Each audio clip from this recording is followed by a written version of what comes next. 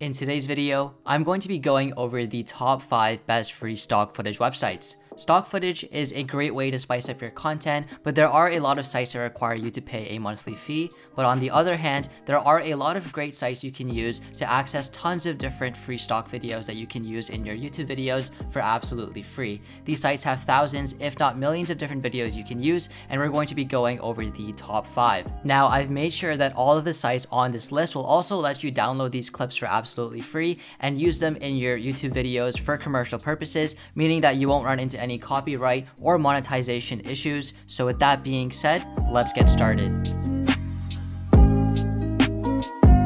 Now these websites aren't ranked in any particular order, but the first one we're going to be talking about is Videvo, and Videvo has thousands of stock videos that you can access in both 4K and HD that are uploaded by various videographers, and this is a common theme you're going to notice. A lot of these sites are run publicly by a community of filmmakers and videographers, so there's always going to be new content added to these sites. Now, one thing that makes Videvo different is that it also has a lot of motion graphics templates. So for example, if you needed a countdown timer, you could find it here, and they also have sound effects so it's a great all-in-one platform. Now, in terms of licensing, most of the free content is under the Videvo Attribution License or the Creative Commons Attribution 3.0 license. And this means that what you can basically do is you can use these clips in your videos, but you do have to give credit in the description, but you can use it for both personal and commercial uses, which is great. Now, one drawback of Videvo is that I found that a lot of the clips were premium, so there's not as many free clips that you can access compared to the other options on this list, but we're going to get to those right now.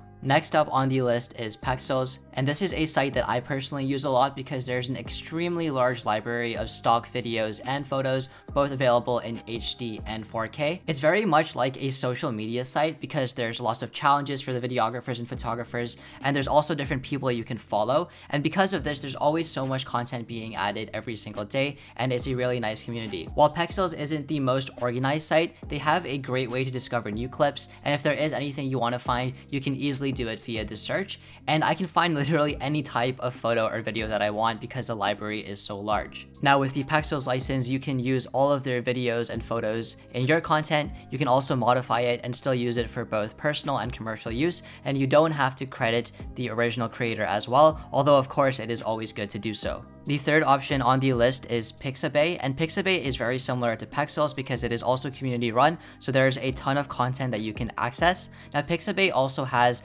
thousands of different vectors and some royalty-free music that you can also access. I found that Pixabay was also very well organized, so it's really easy to sort video clips by different you know elements, such as the size of the clip as well as the resolution. And the Pixabay license is also very similar to Pexels, so basically you can use all the content for free and commercial use. You don't have to give credit and you can modify the content in any way that you want.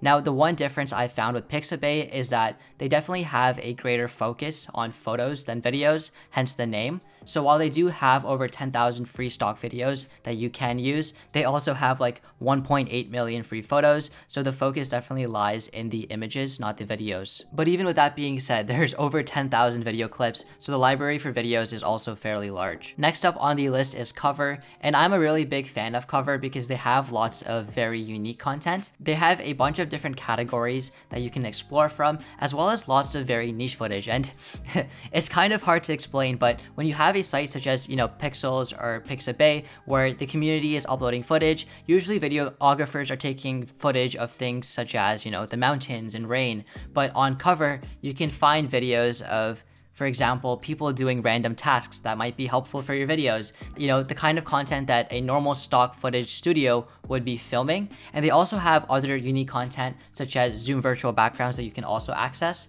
Now, in terms of licensing, it's very similar to the previous sites. So you can use all of their videos for both personal and commercial use. You don't have to ask for permission or give any credit, and you're free to modify the content in any way that you please. Now, the final website on this list is Videezy. Videezy has stock footage that you can access in both HD and 4K, and they have about a thousand stock videos in their library that you can access. Now, what makes Videezy very different is that they also have a ton of After Effects templates and vectors, so you can also add elements to your videos, such as lower thirds, and find templates directly from Videezy, which is great. And they also have a lot of different video backgrounds, so if you're looking to make an outro as well, you know, you can find the background footage on this site. Now, if you're using Videezy, one tip I would give is that you use the standard standard content filter so you can find all of the free videos because they also have premium content, but you have to pay to access it. So by using the filters, you can only look at the free content. Other than that, I would say Videezy is one of the best organized sites. And with the free version, all of the content is under the Creative Commons license, which means that you can use the content for both personal and commercial use as long as you give credit to the owners. And they have all of the credit information as well. So if you go on a certain video clip, you can easily see how you can give credit for that clip as well as the specific licensing information. But that's about it. Hopefully you guys did find a stock footage website that you're going to be using in the future. And if you did, be sure to give this video a big thumbs up. And as always, thanks for watching. My name is Ziovo and I'm signing out.